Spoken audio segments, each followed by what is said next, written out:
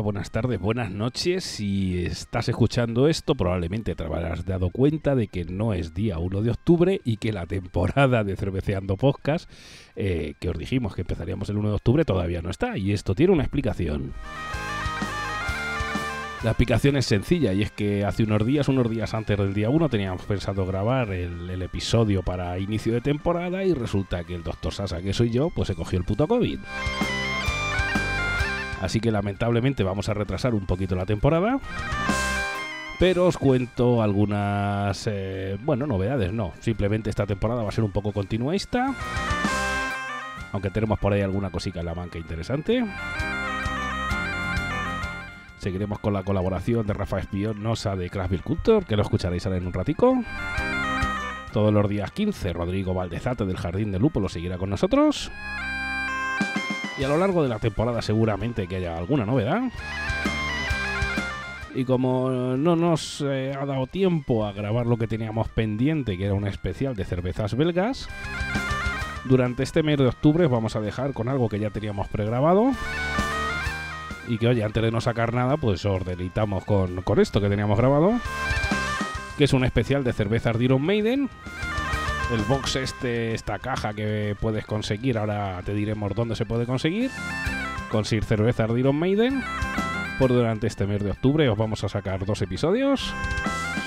Y esperemos que en noviembre podamos volver. Y volveremos con fuerza porque vamos a volver regalando cerveza.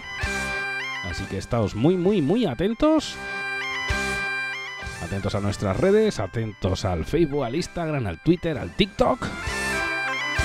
Y nada, os dejamos con el episodio y ya os digo, espero mejorarme pronto y volver a tope a seguir daros dando contenido, a seguir hablando de cervezas con Mr. Pipica, de lo que nos gusta hacer. Y hasta la próxima, amigo, amiga. Adiós. Os dejo con el episodio.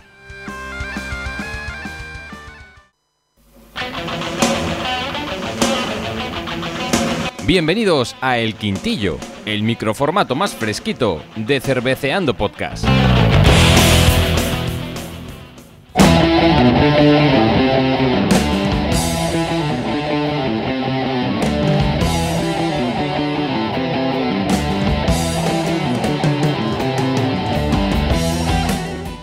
Pipica, pipica, que te suena por ahí de fondo, pipica. Ahí, ahí, ahí, pues de Trooper de los Iron Maiden, ahí, buenísimos. Bueno, aunque decimos este es un quintillo especial, aunque decimos que el quintillo este un microformato fresquito, fresquito va a ser, pero microformato va a ser que no pipica. No, va a ser un poquito más largo este formato, pero bueno, da igual. Eh, son dos análisis que vamos a hacer en directo de dos cervezas muy No, interesantes. No, no, no, no. Este episodio pipica tiene cinco cervezas. Lo que pasa es que lo tenemos Bueno, que grabar a trocicos. Pero Efectivamente, Claro, esto los oyentes pipica, tú y yo lo vamos a grabar por separado, pero los oyentes lo van a escuchar todo junto. Este episodio tiene un sentido porque el año pasado, para noviembre, mi hermano, para mi cumpleaños, me regaló la caja de oficial de cerveza de Iron Maiden, que vienen dos de cada una de las que tienen. Y hemos decidido, pues oye, que mejor que hacer una cata y exponérsela a los oyentes. ¿Que te gustan los Iron Maiden? Pues te la compras y las catas. ¿Que no te gustan los Iron Maiden pero te gusta la cerveza? Pues las catas y te las compras también. Que no te gustan los Iron Maiden y no te gusta la cerveza, ¿qué haces escuchando este podcast? Claro, eh, pues efectivamente, ahí vete a escuchar concepto sentido, que son amigos, pero son unos cachondos también, y si te gusta el cachondeo, los tienes a ellos sin ningún tipo de problema. O hora veintipico de esto de Miguel, que también está Claro, bastante bien. cualquiera. A ver, Héctor de Miguel, a ver si nos haces ahí una mención para Ay, nuestro ay, podcast. ay, es verdad, que tú, tú tienes perricas, tú manejas. Claro, tú tienes ahí panoja, amigo. Entonces, por eso, mi hermano me regaló esta caja de Iron Maiden y la vamos a catar. Vamos a catar eh, cinco de las seis cervezas que llevaban en su edición de 2021, esa caja especial de cervezas de, de Iron Maiden, de este grupo de heavy metal británico, que si no lo conoces, pues no Es sé. que no- vive debajo de las piedras. Vive debajo de las piedras, efectivamente.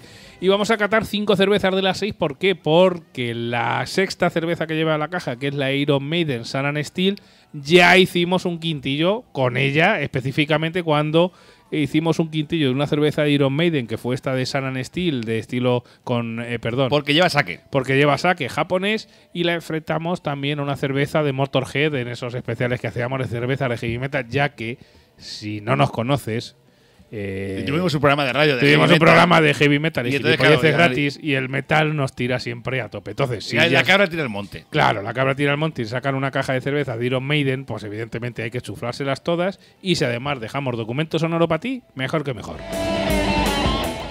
Si estás escuchando esto, te puedes pasar por cerveceandopodcast.com barra tienda y comprarnos, no sé si a lo mejor tendremos cervezas para cuando escuches esto, pero sí que hay unos vasitos de cerveza de Iron Maiden que eh, puedes comprarnos a través de nuestra tienda de Amazon en cerveceandopodcast.com barra tienda, que ya sabes que nos dejan una pequeña comisión para seguir comprando cerveza, unos básicos de Iron Maiden que lo flipas que te vamos a proponer.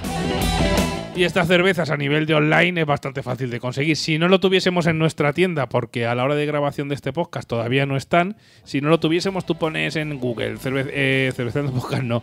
Eh, caja, cervezas Iron Maiden caja y te salen un montón de tiendas online que la tienen para hacer la cata conjunta con nosotras y fliparlo.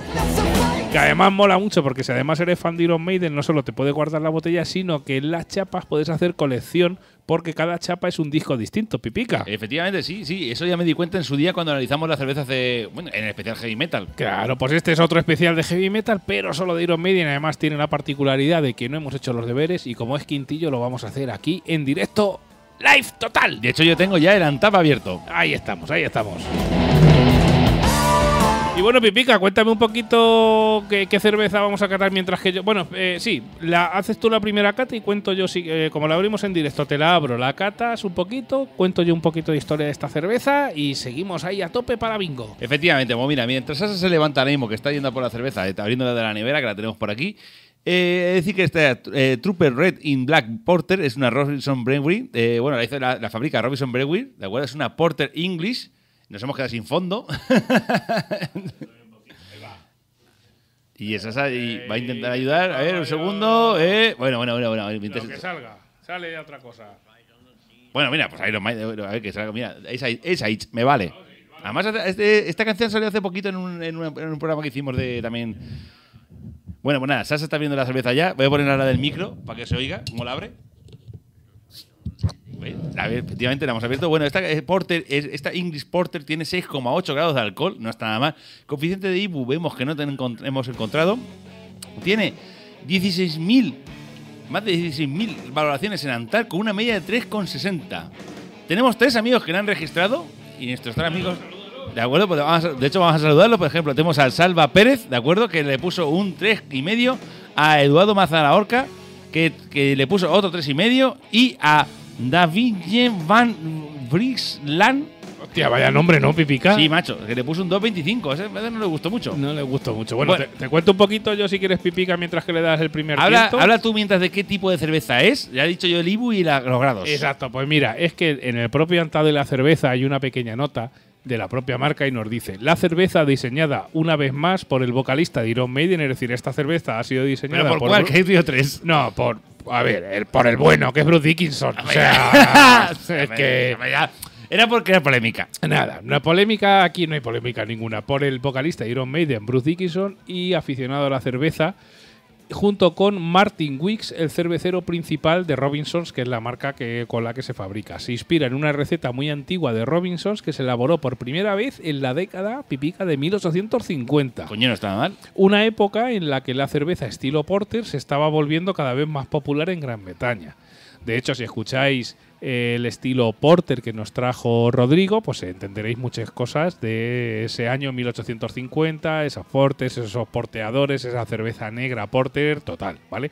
También os tenemos que decir que, bueno, no voy a decir nada porque no sé cuándo va a salir esto, así que también habrá en verano, si esto sale después del verano, que probablemente que sí, podéis haceros el resumen que os hemos hecho de todos los estilos que nos ha hablado Rodrigo en la temporada, que va a salir en verano, que es muy interesante y está este estilo porter incluido, ¿vale? No, la verdad es que lo de los estilos de Rodrigo es maravilloso. Claro que sí, es un tío que sabe ahí y cada vez que habla sienta cadera. Y Bruce Dickinson explica, ya con esto termino, me gusta probar eh, fuera de la caja. Las Stout y las Porters están en territorio virgen para mí, así que me dejé llevar. Martin y yo esperamos haber creado una nueva versión de una cerveza clásica que espero haga cosquillas en las papilas gustativas de los fanáticos de la cerveza de una manera agradable e inesperada. Con 6,8 grados en una bote- en botella o 5,8 en barril, es decir, pipica importante que si esta cerveza la puedes conseguir en barril tiene menor graduación. Esta Turper Red and Black es la cerveza más fuerte de la gama de Iron Maiden hasta la fecha. Así que Pipica está poniendo caritas, ya ha echado su primer tiento. ¿Qué te ha parecido, No, no, no, Pipica? no lo he probado aún. A nivel olfativo, ¿me puedes decir algo, Pipa, Sí, o no? Es un aroma intenso dulce. Y aroma intenso dulce, yo sí que le saco toques toques tostadicos de las porters, ¿no, Pipica? Ese toque a lo mejor que puede tirarte a vainilla un Tira- poquito. Efectivamente, el, el toque dulce suena. eh, bueno, suena no, eh, huele a vainillado. Sí, tenemos que decir que a nivel de espuma no ha hecho mucha al echarla en vaso. Se queda una nubecica como una buena porter, es decir, no es como una Guinness que te deja ahí la, la espuma que la puedes cortar casi con cuchillo y tenedor. Deja una espumica por arriba muy poca. La verdad es como una bitter clásica británica que sabes que dejan muy poquita espuma. Pero la verdad es que el olor es bastante atrayente. Yo voy a poner. Si quieres, Sasa, te voy a decir lo que estoy escribiendo actual, ahora mismo en Antap, ¿de acuerdo? Venga, Es cuéntame, Aroma, in- aroma intenso dulce que no hace demasiada espuma ni cerco. Eh, negra, pero que no es como el culo de un mono. ¿de No, acuerdo? es, más marrón Es- oscuro, ¿no? Efectivamente, ¿de acuerdo? Por lo cual entiendo lo de que se llama Red and Black, ¿de acuerdo? Red and Black, sí, sí. la- si tú la ves a trasluz, es como si fuera una una bitter, una, una red ale de estas eh, oscuras. pero muy, muy, muy oscura, como un tono más oscuro. No llega a ser negra, negra. del Un, todo. un rojo amarronado. Efectivamente, y ahora, ahora es cuando le voy a dar el tiento. No, hijo de. ¿Qué, qué pasa, Pipica? se, Que me está- se me hace el Antap. Si es que no tienes que poner el altar mientras que grabas, muchacho. Dale un tiento a eso y explica a los oyentes cómo sabe. Y hombre. ahora se me ha borrado y ya tengo que escribirlo otra vez de nuevo. Ay, madre mía. Qué calvario. Dale un tiento a eso, hombre. ¿Qué te sirvió ahí? Que esta es la primera de las cinco que vamos a catar. Vamos ahí a ver. Mm. Está eh, Pipica, frunce el ceño, mueve el bigotito, se pone la mano así sujetando la mandíbula y el maxilofacial, vuelve a ponerse la eh, sujetándose el maxilofacial y va, va a efectuar su cata. Cuéntanos, Pipica. Sí, me sabe como una bitter tipo negra. O sea, una bitter negra. Ajá. Sí, o sea, Dame eh, un poquito más de coba y Me- así la pruebo yo, Pipa. Efectivamente, lo que veo yo es que lo noto como una cerveza tipo como la- la- si habéis probado la Trooper de los Maiden, la Trooper de los Maiden sabe a bitter totalmente, o sea, una tip- eh, pero tiene esos toquecillos de cerveza negra en plan dulcecitos, en plan no ya café, porque café no llega, porque sabe ¿Podría decirte, Pipica, más caramelo que café? sí. Porque me sabe Más mucho tofe, a caramelo. más tofe. Sí. Me sabe tipo. mucho a caramelo esta cerveza. La verdad es que tiene un cuerpo medio, no es que sea muy potente. Sí, no es muy potente, es más fresquita, o sea, Sí. no es intensa, pero sí que es verdad que eso, que la veo de como es ama- lo que es, es amarga, es bastante Sí, amarga. bastante amarga, como una porter ahí negra. Al final, las porter negras suele ser de cebadas, de, Pero por malte- eso. de maltas tostadas, suele Pero- tirar amargor, pero, Pero, pero, como lo he dicho antes, como lo de que he dicho que es Red and Black, o sea, la veo como una bitter, pero con un toque más de dulcecillo, de como con la- el toque que dices tú de plan tofe. sí, como si, como si una porter y, y una y, Y una bitter follaran. y una bitter, iba a decir, hicieran el amor y tuvieran un hijo, pues serían así. Pero tú ya directamente Hombre, yo aquí. sin amor ni nada, hombre, ¿no? vamos, va, para que se porque como dicen algunos que se, despoblan las poblaciones por el amor ese. Claro que sí. Pues sí, la verdad es que esto yo, sería una definición. Es como si una Porter y una, y una Bitter tuvieran un hijo, pues sería esta cerveza De Red hecho- and Black de Iron Maiden. De hecho, creo que va bien, bien, muy bien hilado el nombre Red and Black. no, no, sin duda. O sea, el nombre da con todo. Es decir, Porque realmente, de hecho, cuando ya, eh, Sasa, vas viendo que va acabando la cerveza, te das cuenta que no es tan negra ni muchísimo menos. No, es que realmente es- es, es es que un es marrón. un rojo marrón muy oscuro, muy oscuro. Para que me entendáis, es como el color de, la- de las litronas de Mau. Exacto. La botella, no el interior. No, Claro, la la botella. botella. De todas maneras, a ver, esto es muy sencillo. Si quieres saber cómo es a nivel visual y de sabor esta botella, esto Iron Maiden Red and Black, pues te metes en nuestra tienda online, cerveceandopodcast.com barra tienda, que Amazon te lo lleva gustosamente a tu casa en el caso de que esté, y si no te digo, búscala online que la puedes encontrar eh, bastante fácil. Creo que a mí me está gustando bastante, la verdad. Pipica, ¿qué nota le vas a poner a esta, a esta cerveza Red and Black con la que empezamos este especial de cervezas de Iron Maiden? Pues mira, la verdad es que creo que le voy a poner más nota de lo que yo me esperaba. ¿Sí? Le voy a poner 3.75. 3,75 sobre 5. Sí. Bueno. 375, sí, porque, a ver, también es verdad que es muy personal, porque, porque como me ha gustado esa mezcla entre tipo bitter. Sí, eh, la, la mezcla, o sea, la mezcla, la receta, como ya lo indican, que han rescatado una receta de 1850 y la han actualizado un poquito, la verdad es que la receta mola. O Es sea, es, es, es algo un poquito esos- que no es lo de siempre, el efectivamente, aporte. Efectivamente. Bueno, tú sabes que ya sabes que a mí cuando una cerveza sabe distinto a lo que solo estoy acostumbrado, me encanta. Y le a subir a la 375 fácilmente, tranquilamente. Sí, Muy o sea, bien. y me parece una cerveza muy interesante de probar. O sea, Muy bien. de hecho, bueno, yo soy un defensor de, la, de las de- cervezas de los Maiden. Hombre, Que hay gente que, por ejemplo, dice, la trupe sabe a culo. No, Eh, tú, ¿qué vas tú a sí, a- tú sí que sabes tú a sí culo. que sabes a culo. Ahí estamos, ahora sí. Claro que sí. Y yo, Pipica, pues mira, te voy a decir que le voy a poner un 325.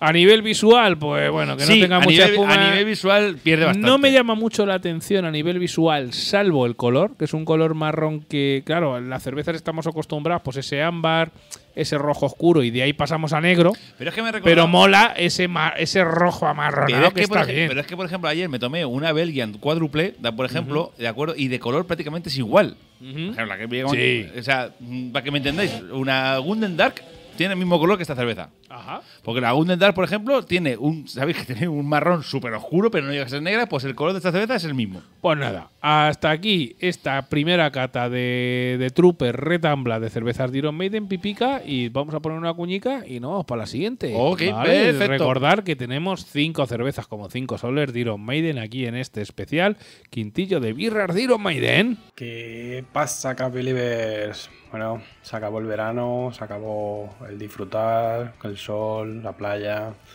pero lo que no se acaba nunca es nuestras ganas de cerveza artesana e independiente. Así que aquí estamos de nuevo en este pequeño espacio que nos ha cedido Cerveceando Podcast para hablaros un poquito sobre cerveza artesana. Y antes de que se nos olvide, pues vamos a responder un poquito a las preguntas que nos hicieron nuestros compis en el programa anterior. Y si no recuerdo mal, bueno, hablaban, nos preguntaban si había un mapa de cerveceras craft actualmente en España. Eh, mapa como tal no hay, hay muchas iniciativas. eh, en Barcelona está el Barcelona Craft Map, en Sevilla el, Sevilla Craft Craft Map, ¿no?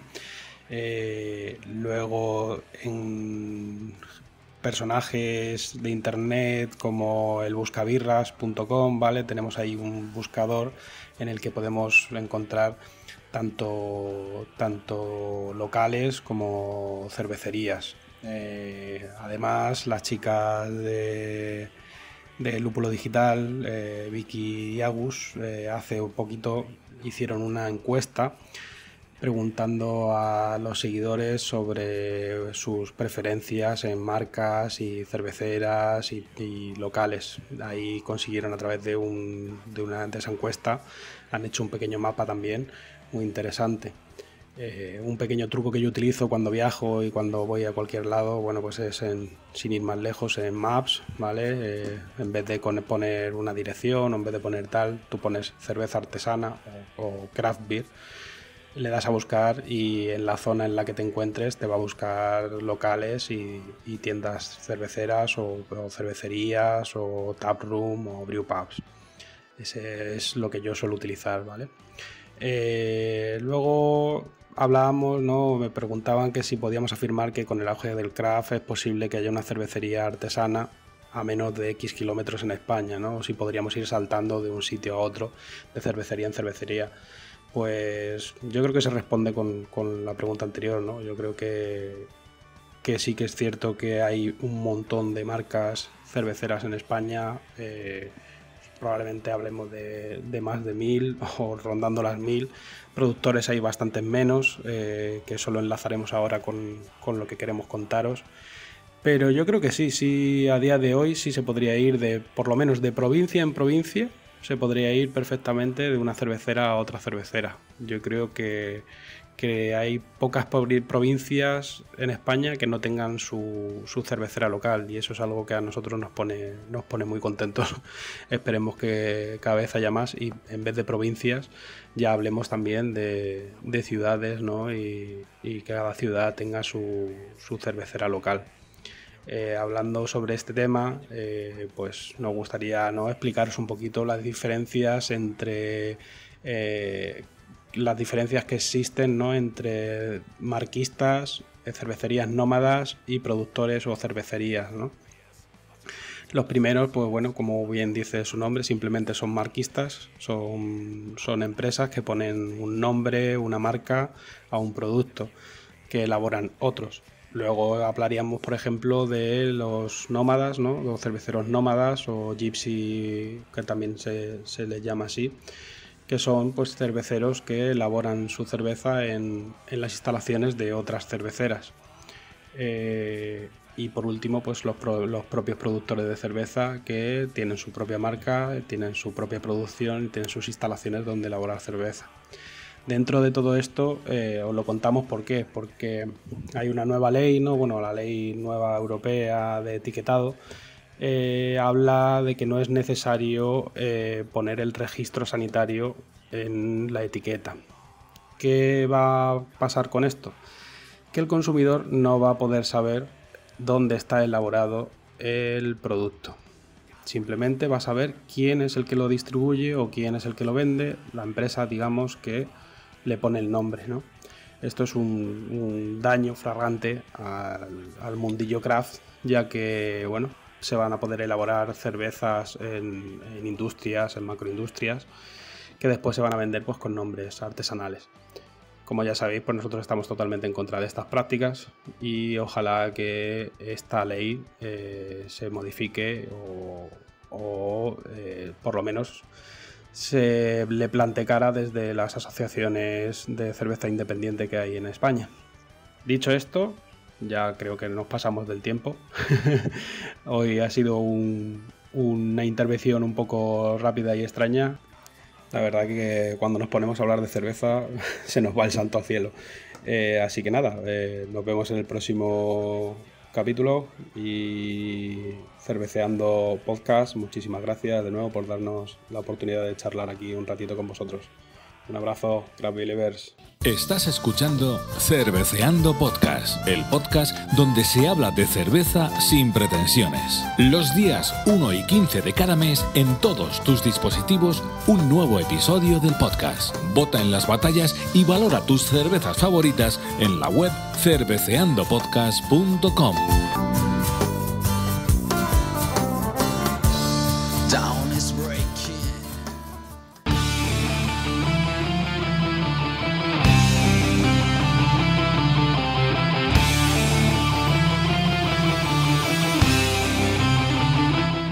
mía, Pipica, lo que estás disfrutando de estos fondos musicales esta Hombre, vez. Todo bueno, Iron Maiden. Mira, yo sé que este podcast corre el riesgo de que llegue Spotify no- y se lo cepille. pero da igual. Pero me suda la, la nariz. Pues los coches en iVoox. pues que no nos censuran por utilizar efectivamente. fondos con, con, con derechos. Con derecho de autor. Bueno. Eh, bueno, nosotros tenemos los derechos de.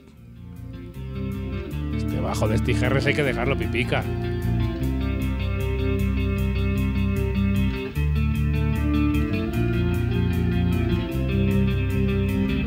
Tampoco nos viciamos mucho porque aquí venimos a hablar de cerveza. Efectivamente. ¿Y de qué cerveza vamos a hablar, Pipica? Pues vamos Sí, a hablar sí. de una cerveza de los Iron Maiden también. Claro, si los oyentes son fan de Iron Maiden, esta canción es un clásico, clasicazo, y sabrán qué cerveza es o el nombre de la cerveza que vamos a hablar, ¿no, Pipica? Sí, vamos a buscar la cerveza Fear of the Dark. Fear of the Dark de Iron Maiden. Si quieres te adelanto yo un poquito las cosas del de esta cerveza que te veo que la estás buscando por ahí. Sí, ya la tengo, ya la tengo. Ya ¿Ya la la tengo. tienes? Cuéntanos un poco esta cerveza. Insistimos, esto es, la podéis conseguir eh, bien por separado o bien hay unas cajas que sacan de vez en cuando con 5 o 6 cervezas de los Iron Maiden, un pack que lleva dos de cada, que lo flipas.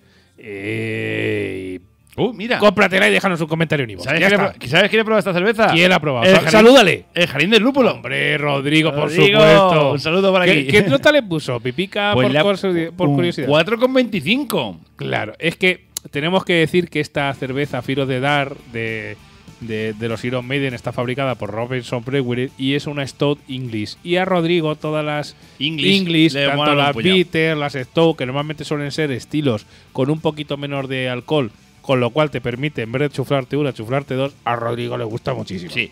De hecho, por ejemplo, ahora mismo voy a, voy a leer, mira, Sasa, ves si viendo esa cerveza si quieres. Venga, y, va. y ve la gente, bueno, voy a decir qué cerveza es. Bueno, estamos iniciando la cerveza de Fio de Dark de los Iron Maiden, ¿de acuerdo? Se llama Trooper Fio de Dark. La hace Robinson Brewery, que sabéis que todas las cervezas de Iron Maiden la hace en la, la fábrica Robinson Brewery. Esta concretamente es una Stout English. Tiene 4,5 de alcohol. Tiene solamente, eh, bueno, cero de IBU, porque. A ver. Ahí, efectivamente, que soy que viene en el micro. Y nosotros hemos visto que, por ejemplo, ahora mismo nuestros amigos solo tenemos dos que lo han registrado y tienen a día de hoy tienen 9.000 registros. Unos 9.000, die- bueno, 9.100 registros, para ser exactos. Y le he registrado Eduardo Mazalahorca, que creo que también se compró la misma caja que tú de los Maiden, Sasa. Saludos, saludos por aquí, tal y cual. Y él pone, por ejemplo, le puso un 375 y puso Stout clásica ligera con un toque de chocolate para beber pintas, no tengas miedo a la oscuridad. claro, bien, tirado eso, bien tirado lo de Fido de. Y, por ejemplo, el Jardín del Lúpulo puso, ya que de la encuesta, la encuesta mesa barra caja de luz quedó casi con un empate técnico. 49 barra 55% voy a mantener la tradición de la mesa al día a día y usar la caja para las fotos y cereales. Oye, te tengo que decir, Pipica. Mira, mira, mira, mira la botella. Y la casa bobada como... No, la, la, casa bobada, un co- con un la cojón. botella, la etiqueta es para guardártela. Sí, y sí. además tenemos que decir que en esta caja especial Uy, de uy, los la Iron Maiden, bien, ¿eh? sí, tenemos que decir que en esta caja de los Iron Maiden, la que negra como el culo, mono. las chapas, o sea, la botella es la misma, pero las chapas son distintos discos de Iron Maiden que aparte puedes coleccionar. O sea, que esto es una maravilla el que te la compres. Si no te la has comprado, estás tardando. Insistimos, cerveceandopodcast.com barra tienda. A ver si con suerte cuando escuches esto tenemos opción de vendértela en nuestra tienda y si no, en nuestra propia tienda. La cerveza igual no, pero los vasos para acompañar esta cerveza sí que no las puedes comprar. Bueno, es gracioso porque eh, eh, estoy leyendo aquí, Sasa, que el 31 de octubre del 2020 Sí. tú comentaste al Jardín del Lúpulo cuando registró en Antap y le pusiste, qué buena la copa, si lo acompañas con el tema de los Maiden tiene que ser orgásmico. Claro, pues Que es lo eh, que estamos claro. haciendo ahora mismo. Le subo un poquito pipica Venga, y- le pegas el primer Venga, tiento. sí, sí, sí, Venga.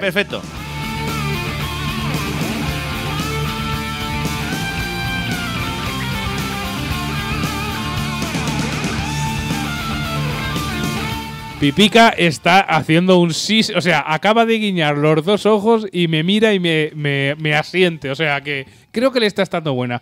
Os diré yo, Pipica, mientras que termina de echarle la primer tiento, a nivel de espuma, no levante mucho la botella, porque como buena Stout hace una espuma cremosa y una cantidad más que interesante, esa espumica color tostadete, ¿vale? O sea, que no levantes la botella y ciertamente da gusto verla. Eh, Pipica, ¿me cuentas un poquito a nivel olfativo? ¿Cómo, Bueno, cómo lo ves? ¿Le, han- le han metido el hocico? Sí, eh, justamente estaba haciendo unos apuntes, perdona, y estaba poniendo que eh, huele a café, pero no demasiado, a café no demasiado, ni a chocolate tampoco, es como una... Huele a stout, coño, joder. Huele a Stout. O sea, si, si, si el Stout fuera un perfume, sería esto, ¿no? Sería esto. es lo que tú esperarías, ¿verdad? Sí, efectivamente, efectivamente huele, Bien, bien. A ver, huele a cerveza negra, stout ahí fuerte, eh, pero no tiene tampoco, está muy bien equilibrada entre matices de chocolate, café y todo eso. Sí, la verdad, no es que tenga un aroma muy grande, mm, ni un aroma que sobresalga algo, pero sí que efectivamente te diría que huele a esto, es decir, un poquito de, de café, un poquito de chocolate, un toquecico vainilla, pero sin pasarse de nada, o sea, ni le sobra ni le falta eh, a nivel de olor. A nivel de, por ejemplo, de visualización, he de decir que, por ejemplo, que es negra, esta sí que es negra, como el culo un mono. Sí, Esta, ya- no, esta no es como. Decimos- ya no es una porter. No, esto no es Esto aporte es una no, esta ya es, es negra, negra, negra. Y hay que decir que, por ejemplo, que de, de sabor sí que noto ahí un pelín amarga, mm, un pelín refrescante y no tan pesada como suelen algunas stout de estas. Hostia. ¿Sabes que hay stout que sabes que se. Pipica, esto está muy rico, pipica. Eh, eh, eh, eh. Hostia, espérate que le pegue otro. Dale, dale, dale. O sea, tú sabes que las stout muchas veces dice, eh, esperas cervezas pesadas o Sí. cervezas fuertes, tal y cual. Y esta tiene un sabor intenso, eh, amargo y, no- y que no. Y a la vez ligero. Efectivamente. Por eso le ligero. gusta a nuestro amigo Rodrigo. Ay, ligero, amigo. Y Rod- es que, por cierto, a nivel de presentación, por cierto, hace espuma. y cerco que te y- cagas. Sí, sí. Rodrigo, Rodrigo, que es un tío que sabe ya mucho de cervezas, estas cervezas tipo británica, le gustan mucho. Y esta, efectivamente, estoy totalmente de acuerdo con Pipica, que es una stock como Dios manda en cuanto a sabor y tal, pero es bastante ligera, tanto a nivel alcohólico como De- a nivel de, de- de Eh, pastosidad es muy baja, entonces te puedes beber tranquilamente dos o tres de estas sin problema. De hecho, a mí me engañarían los sentidos si me la sirves con los ojos cerrados. Me explico. Me, explico, Sí, me seguro, me- me seguro. me pensaría que es una porter. Sí, sí, pero vamos, yo ya te digo, yo ya te digo que caigo en el engaño, pero vamos, como, como que hay Dios, ¿eh? Sí, sí, Vamos, sí. O sea, me engañaría totalmente. Pero es cerveza que me ha gustado. O sea, me ha gustado sobre todo porque eh, me gusta también sobre todo porque se nota más el amargor, más que lo que es la, la predominancia de. Predominancia. De- Predominancia. ¿no? Predominancia, predominancia. Eso es un pedo, gorrino. bueno, después de este chascarrillo gracioso. Así que, no, la verdad es que esto, esto está muy bueno, pipica. Sobre todo lo que es la, no, la predominancia de lo que quiere decir es que sobre Sí. todo la- del chocolate y el café, que suele ser Mm. lo que suele eh, en las Imperial Stout suele ser lo que ah, lo que suele eh, lo, suele Que es lo que te digo, esta cerveza lo bueno que tienes es que pasas por todos los sabores de la Stout, pero sin pasarse. Sin Sí. ser pastoso. Efectivamente. Está muy bien conseguida. y, lo bueno es que tiene tampoco tiene mucho grado de alcohol. Tiene Bueno, 4,5. Claro, te puedes tomar dos, pipica. Ajá. Como los Petit Suisse. Bueno, 7. Claro. Bueno, siete si lo acompañas de algo serio. Pipica, llevamos ya como 22 minuticos de este especial. ¿Qué te parece? Ponle una nota. A ver, a esta esto. Yo creo que vas a sacar una buena nota, Un ¿eh? 4. Pues sabes que coincidimos. Yo también le voy a poner un 4 sobre 5 porque me ha estado muy buena, muy buena, sí, señor. Sí, sí, sí. Me ha parecido una cerveza que de puta madre. Igual que el tema de los Iron Maiden Fido de Dark es la polla. Bueno, eso, yo- eso yo es. Yo recomiendo, o sea, te vas no, a nuestra tienda online cerveceandopodcast.com. Nos compras el vaso de los Iron Maiden. Si tenemos la cerveza Viro de Dal, la compras. Si no, la buscas en internet. Lo compras todo, ¿vale? Atento a la recomendación. Cuando te llegue a tu casa, la pones a refrescar. Sacas la cerveza, la sirves bien en el vaso. Ojo, sin levantar mucho la botella, porque estas esto hacen bastante espuma. Te pones el tema Firos de Dar, te la tomas, te vas directo a Ivo y nos dejas un comentario. A ver qué te ha parecido la experiencia. Ya no vendemos, o sea, ya no recomendamos cervezas, Pipica, recomendamos Vendemos- experiencias. Eh, O sea, esto es la hostia, Pipica. no, nos estamos convirtiendo en unos flipados. Eh, sí, vamos a tener que bajar un poquito el nivel. Vamos a dejar el nivel un poquito. Vamos a bajar el nivel. Bueno, Bueno, nos quedan unas cuantas cervezas de Iron Maiden para bajarnos los humos. Claro. Ya lo veremos a ver qué pasa las siguientes. si lo consigues hacer, comprarnos un vaso o sin vaso, simplemente si te compras la botella y la echas aunque sea en un vaso del Ikea, me da igual. Pero ponte los Maiden de fondo. Ponte los Maiden de fondo y déjanos un comentario a ver qué te parece esta Stow que a Pipica y a mí nos ha estado de Buenísima. cine. Claro que sí.